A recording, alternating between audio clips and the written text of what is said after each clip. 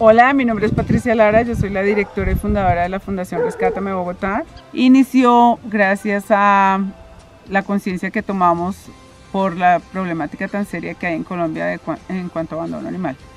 Hoy estamos en la Fundación en la sede con la visita de Laica, estamos recibiendo una donación generosísima que esperamos nos dure muchísimo tiempo y que podamos utilizarla de la mejor manera con nuestros animalitos.